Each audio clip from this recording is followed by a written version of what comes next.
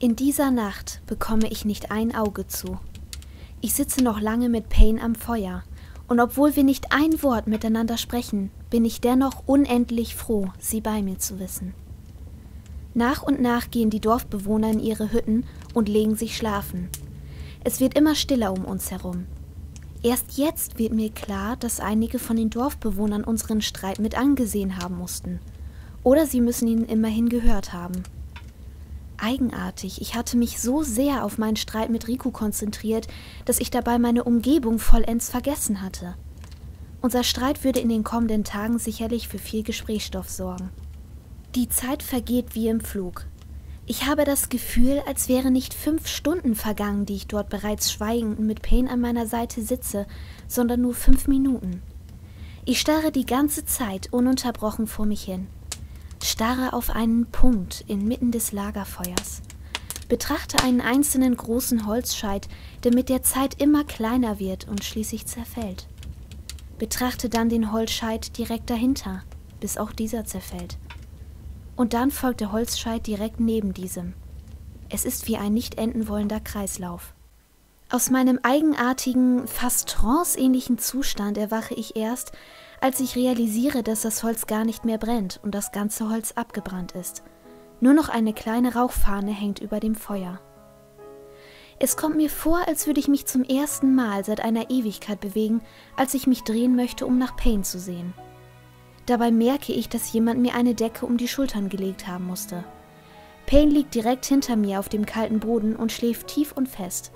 Auch über sie musste jemand eine Decke gelegt haben, Bestimmt hatte sie selbst für uns beide irgendwann im Laufe der Nacht Decken geholt. Ich sehe sie ein wenig entgeistert an. Hat sie wirklich die ganzen Stunden hier mit mir gesessen? Ich schaue in den Himmel hinauf und erkenne, dass es immer noch Nacht ist. In dem Moment hatte ich keine Ahnung, ob ich überhaupt noch etwas fühlte, ob ich überhaupt noch existierte.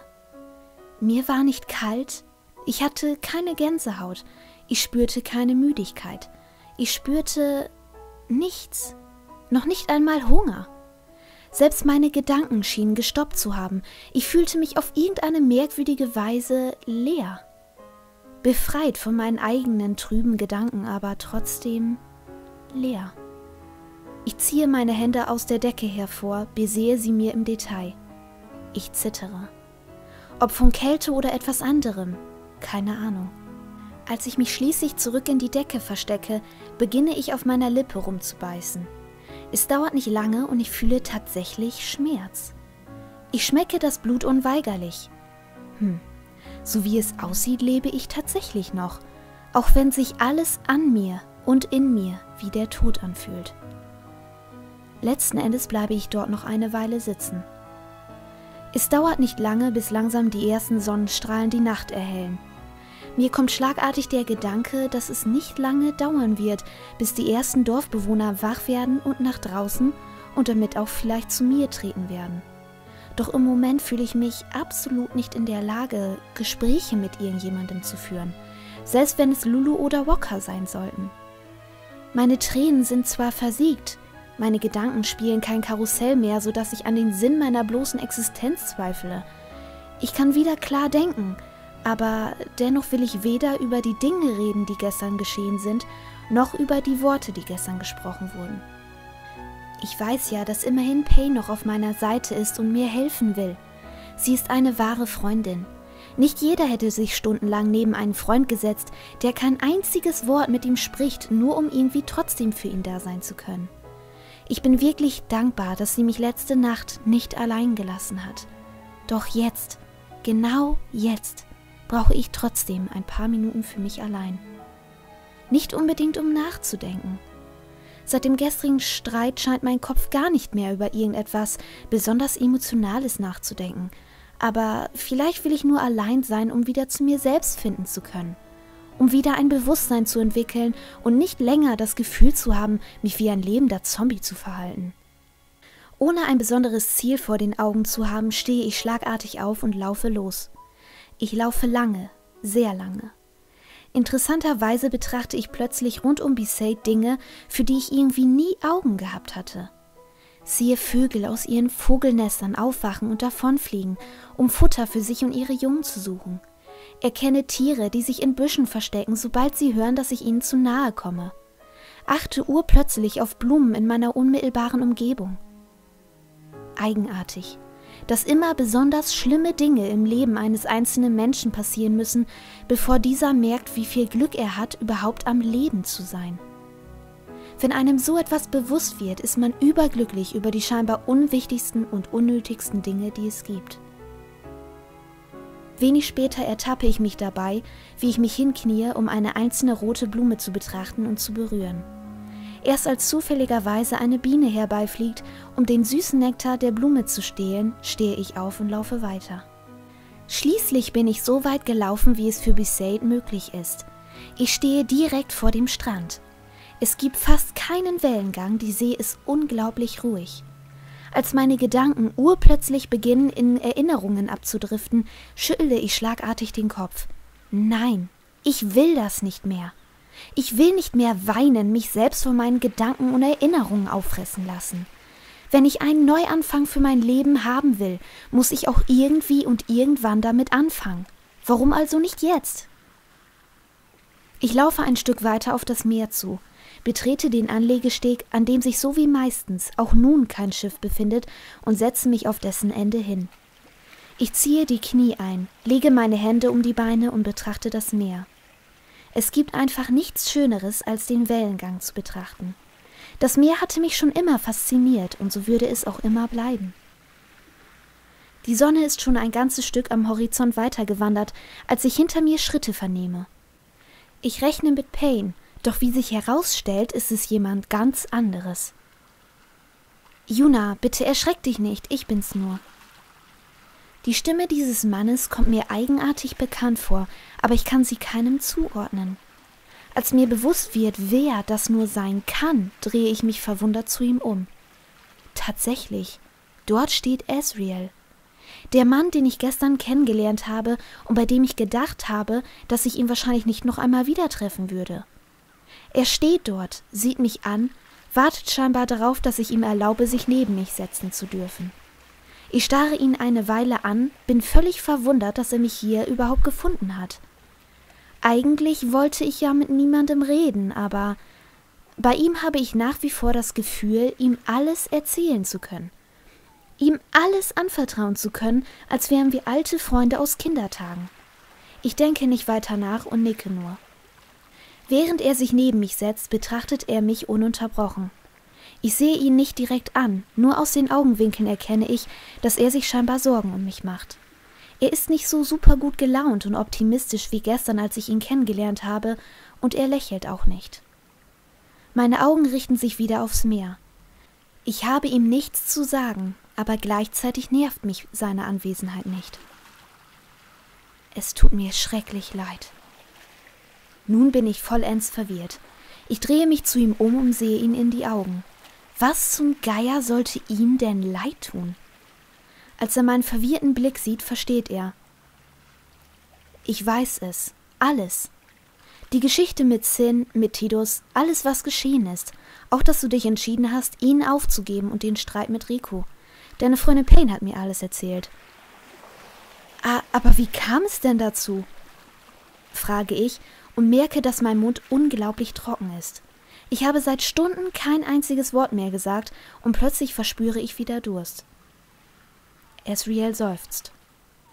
Wie soll ich bloß anfangen? Ich sehe ihn aufmerksam an und warte darauf, dass er beginnt zu erzählen. Esriel kommt dem nach einem kurzen Augenblick nach. Er seufzt noch einmal kurz, fährt sich wie so oft mit der rechten Hand durch seine langen Haare und erzählt.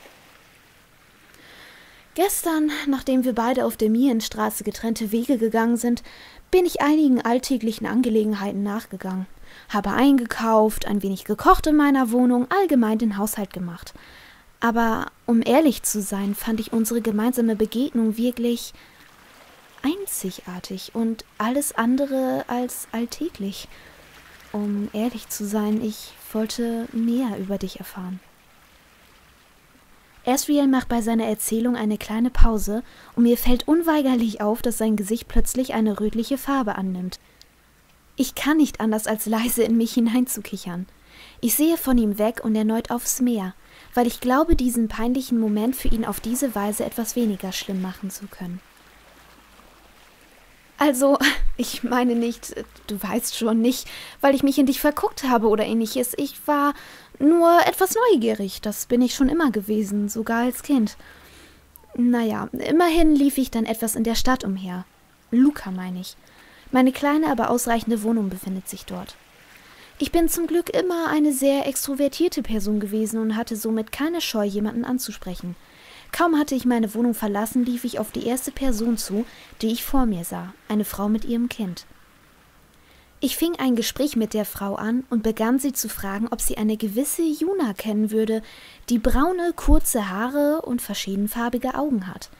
Sie hat mich nur völlig entgeistert angesehen und gesagt, es gäbe niemanden in Spira, der nicht Lady Juna kennen würde. Sie fragte mich, warum ich überhaupt so blöd fragen würde, ob ich denn vorhätte, sie auf den Arm zu nehmen. Sie ließ mich ohne ein weiteres Wort stehen und lief mit ihrem Kind davon. Bei den Namen Lady Juna wurde ich hellhörig und gleichzeitig war ich verwirrt. Ich begann weiter herumzufragen, und irgendwann nahm sich tatsächlich jemand die Zeit, mir die ganze Geschichte mit Sinn zu erklären, dass du eine Medium gewesen bist und Spira gerettet hast. Ich war ehrlich gesagt ein wenig geschockt. Mit diesem Satz endete er plötzlich und ich sehe ihm in die Augen. Er sieht mit Absicht weg und scheint etwas gekränkt zu sein. Ich hatte die ganze Zeit mit dem Rücken zu ihm gesessen, doch nun drehe ich mich um, um ihm in die Augen sehen zu können. Ich weiß, ich hätte dir vielleicht von Anfang an erzählen sollen, wer ich bin, aber was soll ich sagen, du, als du mich dort auf der Mihenstraße in der Nähe des Reisebedarfs angesprochen hast, ging es mir wirklich nicht sehr besonders. Ich wollte eigentlich allein sein und hatte nicht die Lust, mich gerade darauf einzulassen, einem Fremden meine Lebensgeschichte zu erzählen. Es tut mir leid. Ich kann mich nur daran erinnern, dass ich mich sehr gewundert habe, dass du mich nicht kennst. Alle kennen mich in Spira, wegen dem, was ich getan habe. Schlagartig sieht er mich wieder an und lächelt ein wenig. Wie war das nochmal? Eigentlich wollte ich doch im Moment mit niemandem reden aber ich hatte unweigerlich das Gefühl, mich vor ihm entschuldigen zu müssen. Und plötzlich will ich wieder reden, aber interessanterweise nur mit ihm. Bevor ich weiter über diese komische Tatsache nachdenken kann, erzählt Asriel weiter. Nun, jedenfalls bekam ich dann auch die Information, dass du dich wohl hauptsächlich in Besaid aufhältst und dass dort wohl auch einige deiner Freunde wohnen. Ich verspürte plötzlich das Verlangen, dich noch einmal zu treffen. Nur um zu wissen, dass es dir besser geht und dass du dich von dem erholt hast, was dir so sehr zu schaffen gemacht und dich zum Weinen gebracht hat. Während Esriel dies sagt, sieht er mir in die Augen. Ich spüre plötzlich etwas, erkenne etwas. Er ist auf irgendeine Weise wohl ebenso wie ich. Er hat auch Interesse daran, zu wissen, dass es all seinen Freunden gut geht. Und selbst wenn es nur Bekannte sind. Er will auch immer die Gewissheit haben, dass bei allen seinen Bekannten alles in Ordnung ist. Selbst wenn dies bedeuten sollte, viele, viele Meter laufen zu müssen, nur um sich dessen zu vergewissern. Fühle ich mich ihm deshalb so nah, so verbunden? Das das war wirklich sehr nett von dir. Kann ich nur kurz herausbringen, bevor ich den Blick senke und zu Boden sehe. Kurz darauf spüre ich eine seiner Hände auf meiner Schulter. Als ich aufsehe, lächelt er mich an. Ich lächle kurz zurück, um ihm zu zeigen, dass alles in Ordnung ist. Bevor ich etwas sagen kann, erzählt er die Geschichte zu Ende. Es war schon sehr spät und dunkel, als ich dann letzten Endes in Besaid ankam. Eigenartig war es schon, ich musste dich gar nicht suchen. Ich konnte dich direkt sehen, du saßt am Feuer zusammen mit deiner Freundin Payne. Erst dachte ich, ihr sitzt nur ganz normal da und würdet euch unterhalten, doch dann sah ich erst, dass du völlig blass warst, ein tränenverschmiertes Gesicht hattest, nur auf einen Punkt im Feuer saßt und fast schon bewusstlos schienst. Als ich deine Freundin darauf ansprach, was denn mit dir los sei, sagte sie vorerst nur, das ginge mich gar nichts an. Sie schien aber zu merken, dass ich mir Sorgen um dich machte, und fragte mich direkt, ob ich Asriel hieße. Als ich dies bejahte, erwiderte sie nur, sie wüsste schon, wer ich sei, du hättest ihr schon von mir erzählt. Schließlich sagte sie, dass sie sich nicht sicher sei, ob sie mir wirklich die ganze Geschichte mit dir erzählen dürfe, doch sie war sich sicher, dass du mir das Ganze ohnehin irgendwann erzählen würdest. Daraufhin erzählte sie mir dann alles. Es dauerte sehr lange, bis sie zu Ende erzählt hatte, aber ich hatte schließlich endlich das Gefühl, alles zu verstehen. Vor allen Dingen endlich zu verstehen, weshalb du dermaßen unglücklich bist. Und, naja, der Rest ist dir ja bekannt. Zu Beginn war ich etwas verdutzt. Ich musste letzte Nacht derart in meiner Trauer versunken und abgedriftet worden sein, dass ich seine gesamte Anwesenheit in den letzten Stunden gar nicht bemerkt habe. Ich habe nicht einmal gewusst, dass so etwas überhaupt möglich ist. Gut, die letzten Stunden kommen mir wirklich sehr schwammig vor, und wenn ich darüber nachdenke, kann ich mich auch an nichts anderes als an das Feuer erinnern, das ich betrachtet habe. Aber dass mein Zustand wirklich so schlimm gewesen ist, das schockt mich eigenartigerweise sogar selbst. Eine Weile sitzen wir nun dort und schweigen uns an, während ich versuche, mich an etwas Konkretes aus der vergangenen Nacht zu erinnern. Schließlich wird mir schlagartig etwas bewusst. Die Decken, das warst du! rufe ich plötzlich aus und erschrecke ihn damit. Er fängt sich jedoch schnell wieder und nickt. Richtig. Nachdem Payne eingeschlafen war, habe ich zwei Decken aus einer umstehenden Hütte geklaut und euch damit zugedeckt. Zwar werden die rechtmäßigen Eigentümer sie inzwischen vielleicht schon vermissen, aber wir geben sie ihnen ja ganz bestimmt wieder. Unweigerlich und ohne weiter darüber nachzudenken, muss ich plötzlich lächeln. Das ist sehr lieb von ihm gewesen, ohne Frage. Dann bin ich irgendwann aufgestanden, um Frühstück zu machen. Ich wusste zwar nicht, ob du etwas essen würdest, aber Payne ja auf alle Fälle. Als ich dann wiederkam, sah ich nur, dass du weg warst und lief deinen Spuren im Sand hinterher. War zwar nicht einfach, aber ich hab dich trotzdem gefunden. Plötzlich legte sich eine Hand unters Kinn und machte einen nachdenklichen Gesichtsausdruck. Hm, wer weiß, vielleicht sollte ich mich eigenständig machen und Detektiv werden. Nach dieser Bemerkung muss ich kurz kichern.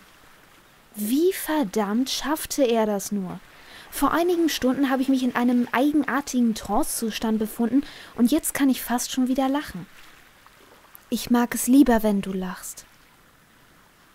Ich sehe Esriel an und lächle ein wenig. Gleichzeitig weiß ich aber nicht, was ich sagen soll. Esriel lächelt zurück und er streichelt mir ein wenig über den Rücken. Geht es dir denn jetzt etwas besser? Ein wenig, erwidere ich. Auf die Trauer bezogen geht es mir zwar besser, doch gleichzeitig bin ich verwirrter als vorher. Verwirrt von meinen eigenen Gefühlen. Ich fühle mich gut.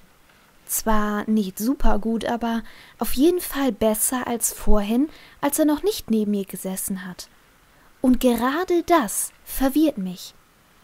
Was ist das hier? Beginnt hier irgendetwas zwischen uns? Oder denke ich einfach schon wieder zu weit?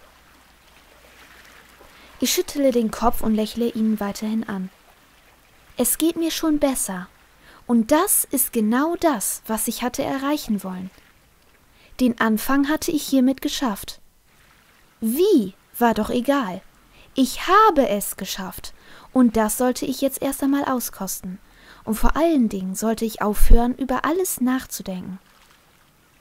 Esriel, sage ich schließlich, und er nimmt schlagartig seine Hand von meinem Rücken hinunter. Er rückt ein wenig von mir weg. Oh, tut mir leid, soll, soll ich lieber gehen? Willst du allein sein? Ich schüttele den Kopf. Nein, ich wollte nur sagen, danke.